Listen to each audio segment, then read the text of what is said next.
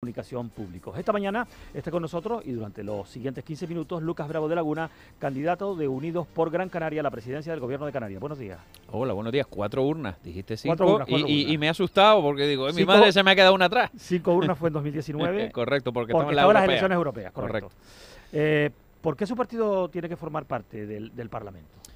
Porque Gran Canaria es la isla que más recauda y la que menos inversión por habitante recibe eh, de media en los últimos 20 años. Son datos oficiales que Unidos por Gran Canaria ha eh, recopilado en estos años y que demuestran que la fuerza de un partido insular en el Parlamento de Canarias es fundamental. El resto de islas han tenido o tienen partidos de corte insular en el Parlamento y eso se nota porque todos nos sentimos canarios, nosotros también, por supuesto, pero al final si no tiene cierta fuerza, cierto poder en el Parlamento de Canarias, la realidad es que los partidos más generalistas, los nacionales o los que se llaman nacionalistas y tienen representación en todos lados, no tiran para Gran Canaria y yo creo que son motivos más que suficientes para que la sociedad Gran Canaria apueste en este momento por un partido, insisto, de corte insular que no quiere romper con Canarias, no quiere romper con España. Nosotros somos constitucionalistas, respetamos el Estatuto de Autonomía, simplemente queremos gestionar mejor y traer más inversiones a esta isla. Bueno, a partir de ahora vamos a dividir las preguntas en diferentes bloques que coinciden prácticamente con las consejerías eh, más habituales que forman parte de, un gobierno. Eh, vamos a empezar por el bloque económico, eh, que podría aglutinar el turismo, el comercio y también el empleo. Sí, pues bloque, solo para esto se me van los 15 minutos. bueno, el bloque fundamental, ¿no? lo que más preocupa siempre al ciudadano, como es lógico, es eh, la situación económica, la situación de desempleo que por desgracia sufren muchos canarios. Gran Canaria es la isla eh, y el territorio europeo con mayor tasa de paro juvenil, algo que nos debería preocupar muchísimo. Tanto el actual gobierno de Canarias como los anteriores eh, no han hecho nada por paliar esa situación. Nosotros queremos hacer un plan específico de fomento de empleo entre los jóvenes. digamos que hay que centrarse muchísimo también en, fomentar la formación profesional eh, en sus distintas modalidades.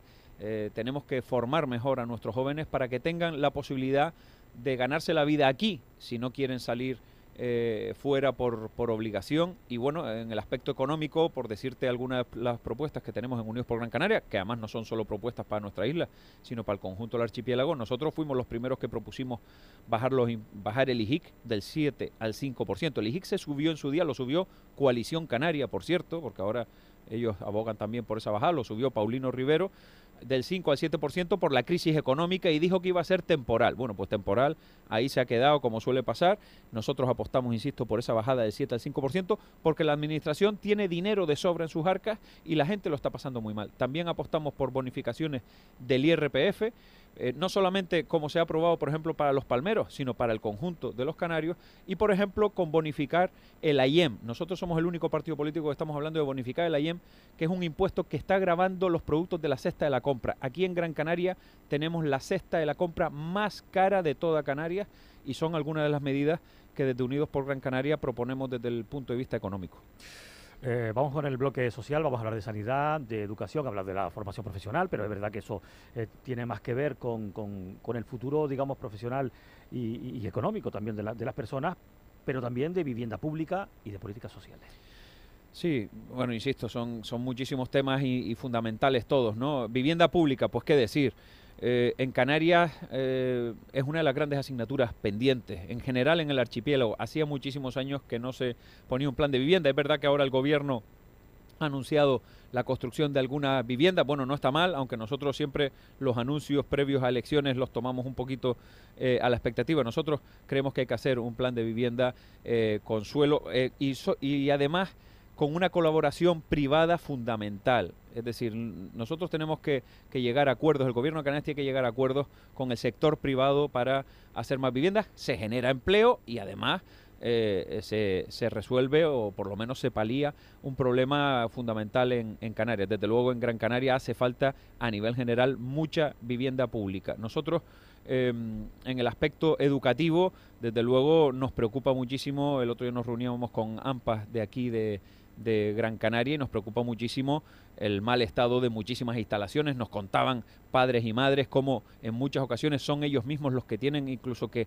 pintar aulas, que, que, tratar determinadas cosas y nos parece, eh, en fin, que hay que poner más dinero, ese dinero sobrante en excedencia que tiene, en excedente que tiene eh, la comunidad autónoma en los bancos, reconocido por el propio Román Rodríguez, Ángel Víctor Torres, etcétera, etcétera, hay que ponerlo más en la calle y más eh, en, inversión, en este caso, en los colegios públicos de Canarias. Y en, y en materia sanitaria, la sanidad canaria lleva muy mal desde hace mucho tiempo, pero las peores cifras de lista de espera sanitaria, esas imágenes terribles que vemos en los pasillos de los hospitales, con enfermos, con personas, solo la vemos aquí en Gran Canaria. Nosotros hemos propuesto, Unidos por Gran Canaria, ha propuesto la construcción de un nuevo hospital público por fin en la zona sureste de la isla. La presión hospitalaria en el Doctor Negrín, en el Hospital Insular, es horrorosa. Lo saben los sanitarios, lo saben los pacientes que por desgracia tienen que, que ir a esos hospitales y por eso proponemos, si formamos parte del próximo gobierno de Canarias, insisto, la construcción de un nuevo hospital público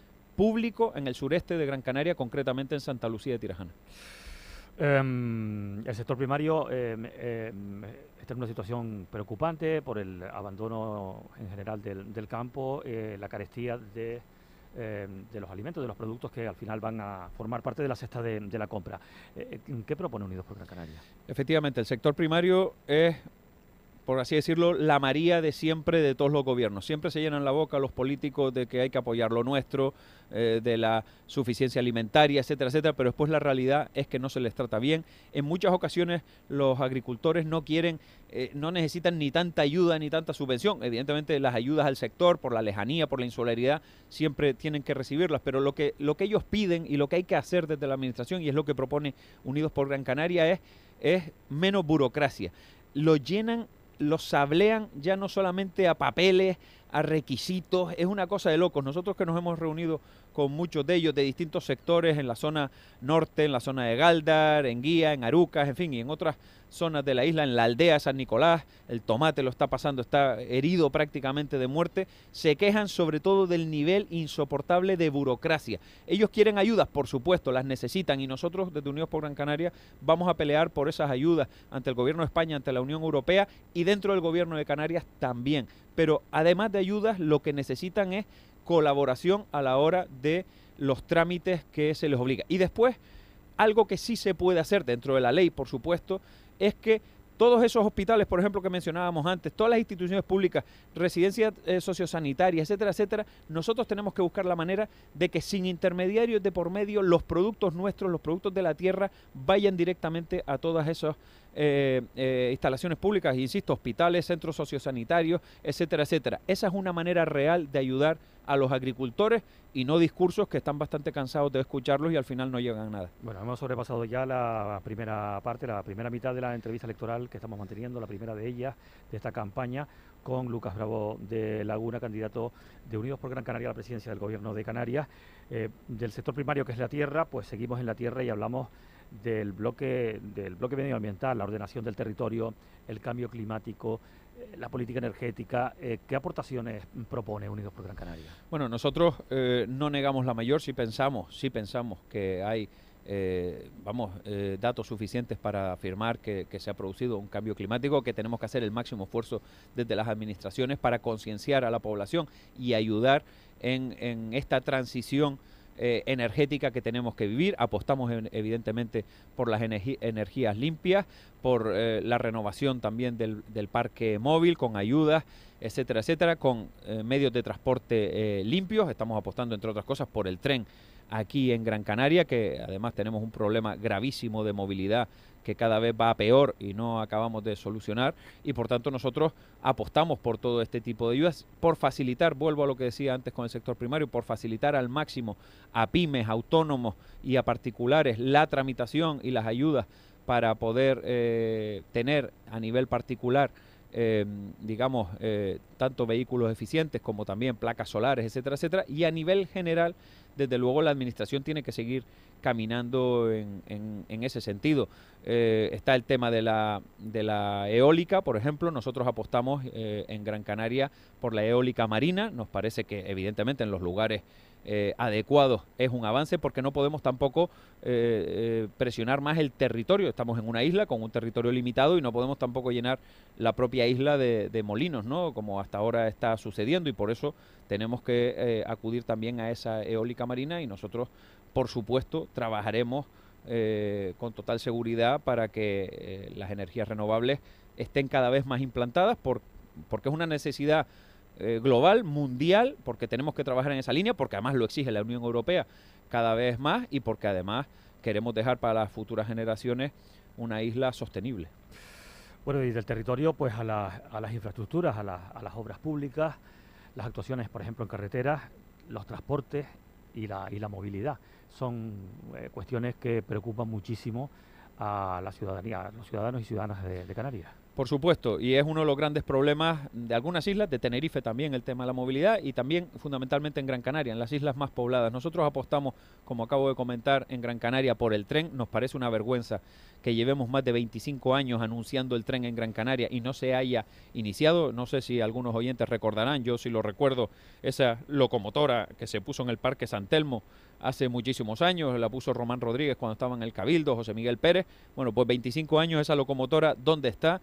Eh, hay consenso político en Gran Canaria, en Tenerife no lo hay, pero en Gran Canaria sí lo hay para eh, iniciar el tren y lo que hay que buscar es los fondos y iniciar el proyecto. Eh, ¿Eso es la panacea? ¿Es la única solución? Por supuesto que no, pero tenemos que dar esa alternativa del sur de la isla hacia las Palmas de Gran Canaria y viceversa porque los atascos son cada vez mayores.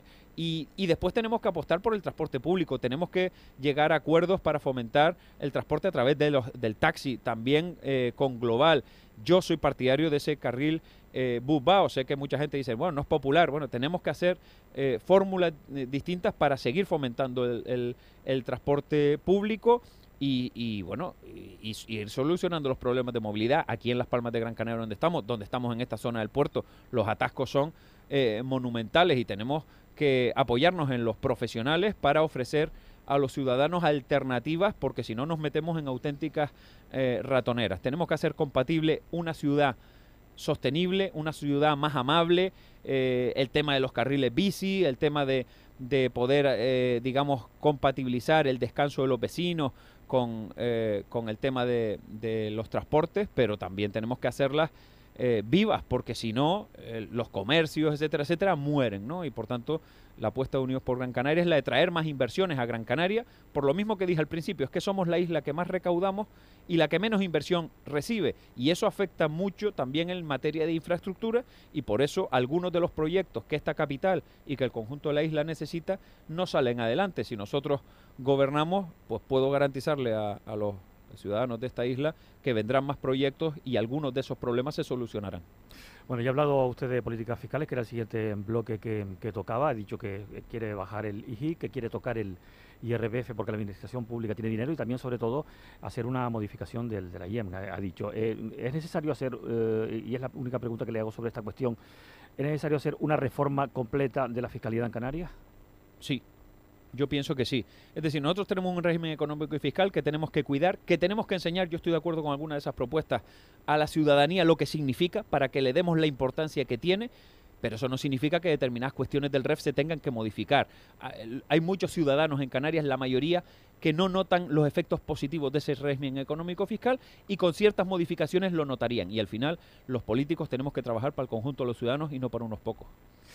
Em, se me queda atrás eh, preguntarle por la cultura y por, y por el deporte, em, pero le voy a pedir que en los próximos 30 segundos, que son los últimos que nos quedan, y ya le despido, pide usted el voto para su partido. Sí, por supuesto, Unidos por Gran Canaria apuesta también por la cultura y el deporte. Hemos apostado por ese Mundial 2030 eh, de fútbol aquí en Gran Canaria, hemos sido los que hemos dado la idea. Y Unidos por Gran Canaria lo que quiere es el voto de todos ustedes, ciudadanos y ciudadanas que vivan aquí en Gran Canaria, da igual el origen, para tener una isla más protagonista y mejor tratada. Gran Canaria, insisto, necesita más recursos públicos y solo un partido insular con fuerza en el Parlamento de Canarias podrá conseguirlo. Gracias, Luca Provo de Laguna. Gracias a ustedes.